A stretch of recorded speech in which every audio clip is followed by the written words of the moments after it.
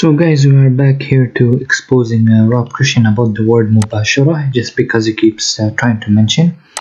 It says here in Islam Web مباشرة الزوجة في الصوم من غير جماع So this means من غير جماع without intercourse مباشرة which means touching Here if we go and search it up من غير جماع right not intercourse without intercourse so مباشرة would mean touching so here they say that um, وللصائم أن يداعب زوجته وأن يقبل ويضم ويباشر so for a fasting person he can uh, for example uh, uh, kiss his wife uh, hug his wife and touch his wife أي تمس بشرته بشرتها that means that his skin touches her skin without intercourse as you can see here we can translate it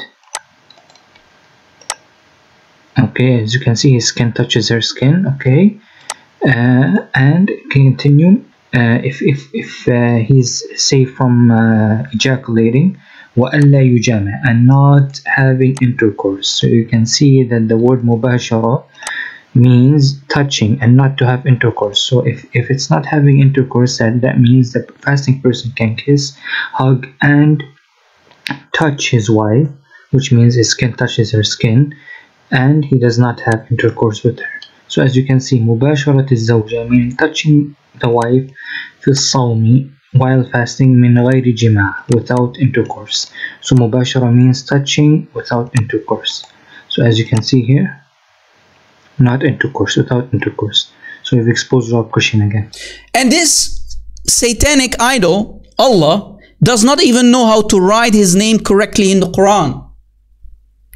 Al Rahman. What? Al Rahman. Wait, Rob Christian. Muslims always call him Al Rahman. The merciful, right? That's one of his 99 names, right? The merciful. Al Rahman Al Rahim, the most merciful.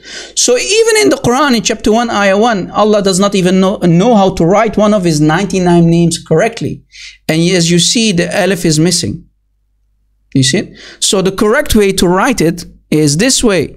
Al Rahman. Here, this one sounds like Ar Rahman. Now Rob Christian again, the idiot fails to understand that there is a alif here. It's called alif al-khinjiriya. Ar-Rahman. You guys see that little dot up here?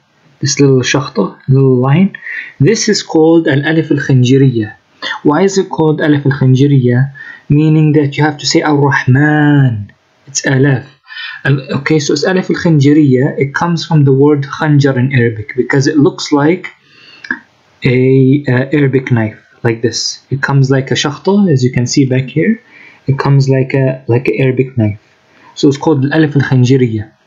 So why is and this is only for Allah subhanahu wa ta'ala when a person is writing Ar-Rahman first of all there are many opinions uh, for both Bismillah Bism and Ar-Rahman Bism without an alif because uh, it is used لكثرة الاستعمال they say the, the scholars it's used it's mostly used for many times to be they use it a lot to write they write it a lot Bismillah Ar-Rahman Rahim so they made it easier without an alif and Ar-Rahman here they also because they write it a lot of times Bismillah Ar-Rahman Rahim they wouldn't use, they would use the alif al-khanjariya they would not use the regular alif and another thing would be is that because ar-rahman when they're referring to uh, allah subhanahu wa ta'ala it's used with an alif al-khanjariya when it's referred to another uh, person who's a false god who calls himself ar-rahman like musaylim al-kadhab and we'll get into it then it will be written with because they used to call him rahman al-yamama so it will be written with an alif it would not be written for this. So this Ar-Rahman would be also only written like this, referring to the true Rahman, meaning Allah subhanahu wa ta'ala. If we go right now to volume 1 of this book, Tafsir book.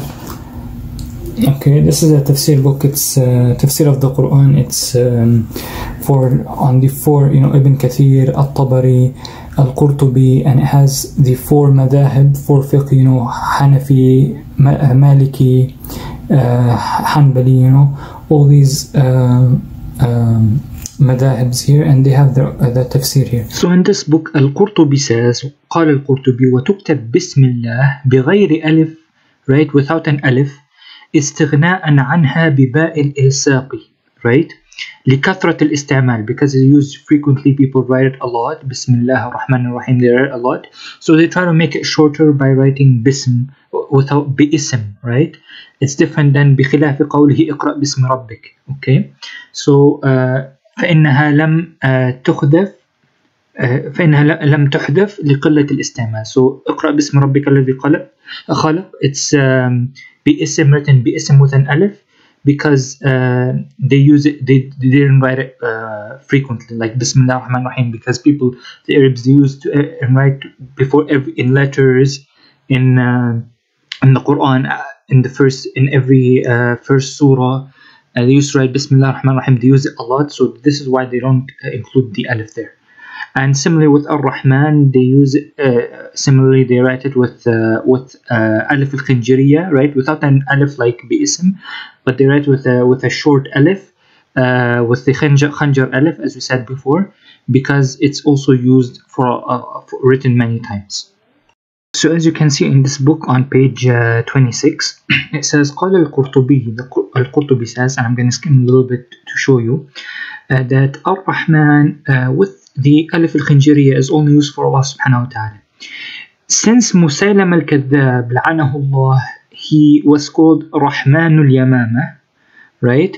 Then that means that uh, this is a, was, uh, a wasf for Musaylam al-Kadhab, not Allah subhanahu wa ta'ala. So the alif, the regular alif is used in, in his name.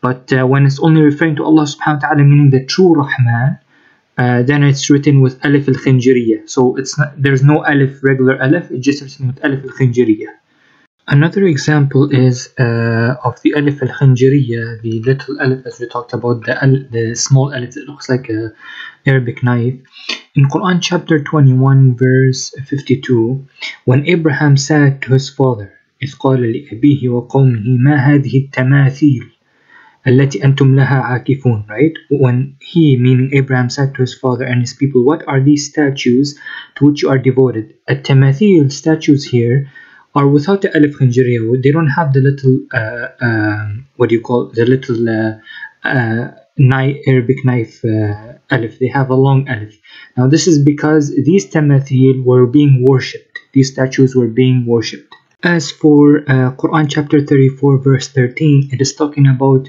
the uh, jinn that were working uh, for Sulaiman يعملون له ما يشاء من محاريب وتماثيل right here tamathil it has a little alif it has the knife alif as you can see above this is because uh, so Solomon did not worship these statues as you can see so because he did not worship these statues it is written differently with alif al-khinjiriya with the small Arabic knife but as for Ibrahim, because uh, his people uh, worship the statues, which is why tamathil, uh, the mad here is actually um, not the alif al khinjiriya, so it's actually the long mad.